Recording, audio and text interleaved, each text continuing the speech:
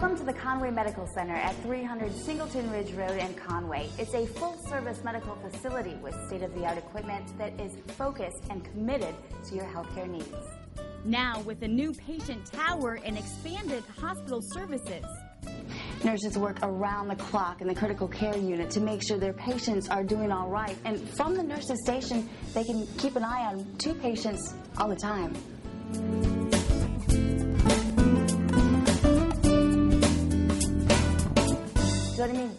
Is Dr. Marty Duclos, the Chief of Staff here at the Conway Medical Center. Talk a little bit about this expansion project and how it impacts the community. Sure.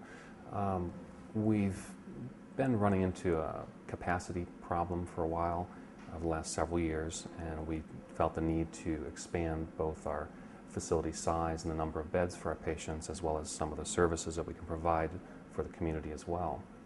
Um, this is an effort to uh, provide some of the higher technological services to our patients and keep them closer to home here without having to transfer them to larger hospitals outside the area.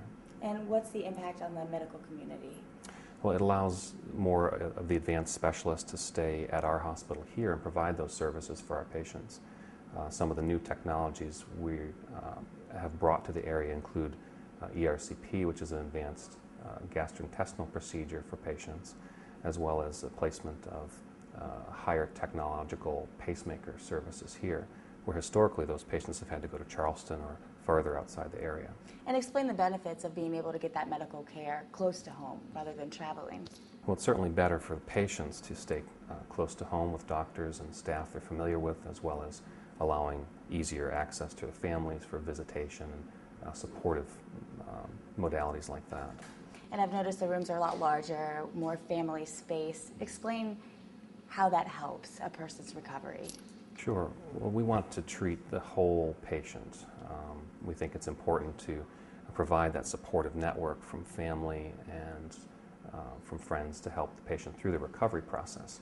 The larger rooms both have more services, more technology, more tools to help with the patients as well as more space for the patient's families. So that they can move around as well and have more family members in there, plus it makes it easier for them to get up and try to move around if they... Exactly. It's very important, especially in our new surgical uh, wing here for post-surgical patients to be more ambulatory as soon as possible to assist in their recovery. Great. Well, thank you very much, Dr. Marty Duclos. Now let's take a look at what else Conway Medical Center can offer.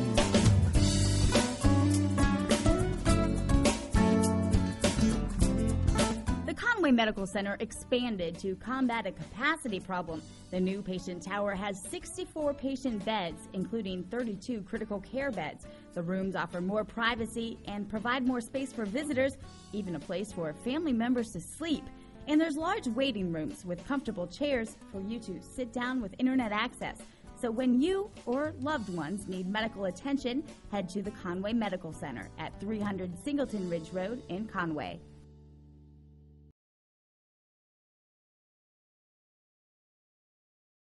Coming up next Monday, we talk to Burns Massey, the executive director of the Conway Medical Center Foundation, and how you can get involved.